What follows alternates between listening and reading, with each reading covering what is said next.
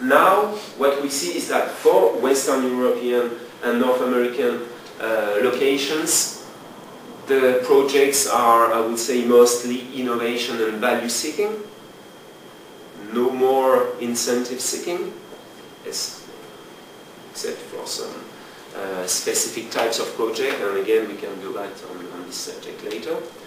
Uh, decreased volume of investment and jobs. I don't think you will be surprised say that. Um, delayed plans to business reengineering and tight cash management.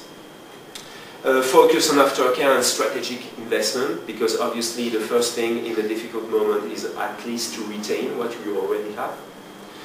New markets uh, open through legislative and regulatory environment. Obviously, uh, we were talking, uh, Kathy was talking about clean energy before. This is a new uh, uh, market because of some technology issues, but also because of change in the legislative and regulatory environment.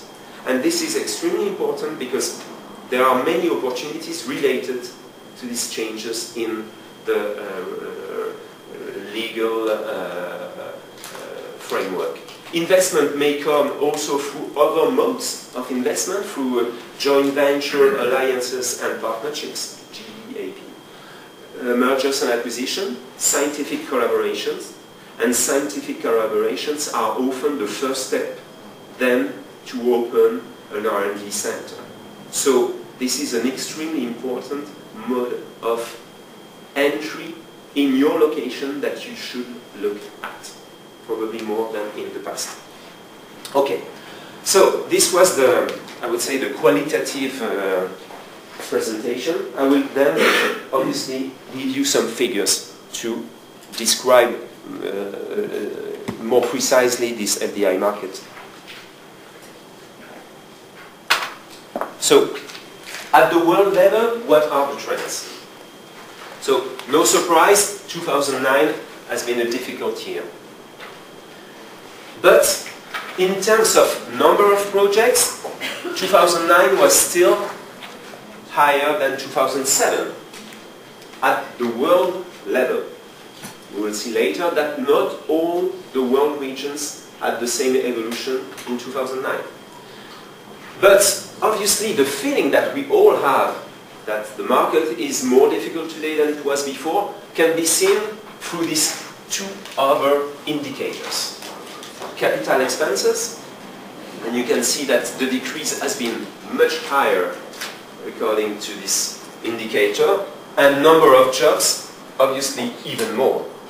So, not such a big difference in terms of number of projects, minus 15%, but more than, well, if you look especially respect at 2007, more than 35% of decrease respect to uh, uh, 2007 in terms of jobs. So the impact of FDI has decreased a lot in the past two years. As I say, not all the world regions had suffered in the same way uh, and for instance, uh, well, yes, you will see that, for example, three areas, three world regions has even seen a rise in the number of projects.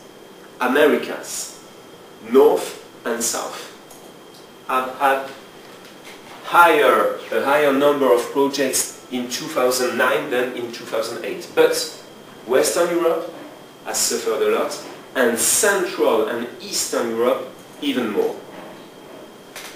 Central and Eastern Europe has been last year the, the, the most eaten world region in terms of FDI.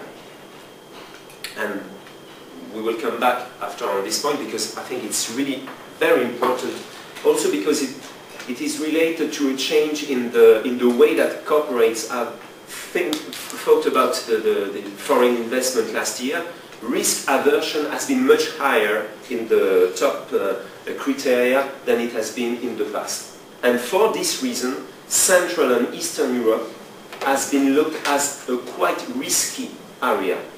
Much more risky, for example, than North Africa, obviously the Asia and, and Latin America. which were the other emerging areas before the crisis. So, a quite huge decrease for, uh, but also for Asia Pacific, but as I said, if you look at the 2009, we are still at a higher level than in uh, 2007. In terms of jobs, as the jobs were smaller and there were less manufacturing projects, obviously the impact in terms of the number of jobs created uh, has decreased a lot in Asia Pacific, but it remains still at a quite high level. In terms of source world region, no world region has uh, shown a different evolution respect to the others. So all the areas has brought less, have brought less projects and less jobs Uh, in 2009 respect to 2008. As I said, it's in interesting to look at some traditional criteria to segment the, the market, but I think that today this is the key the, the, the, key aspect to look at is business activity function. Because if you want to really understand the market, I think it's, it's really, and if you want to see which type of projects you can attract, this is the first step to look at. So, in terms of business activity, obviously manufacturing has decreased and has reached its lower level and even respect to 2003. Sales and marketing uh, operations in green uh, has suffered but are still higher than in 2008. The same for business services, which are in, this uh, undefined color. Uh, research and development, I would say, stay at, at, a higher level than at the beginning of the period, but has suffered uh, also. And uh, energy, I don't know, yes, uh, electricity, ICT and internet infrastructure recycling, all these utilities uh, related projects uh, has also suffered because in 2009 some countries have changed their regu regulation, especially for example Spain, uh, respect to solar and wind energy,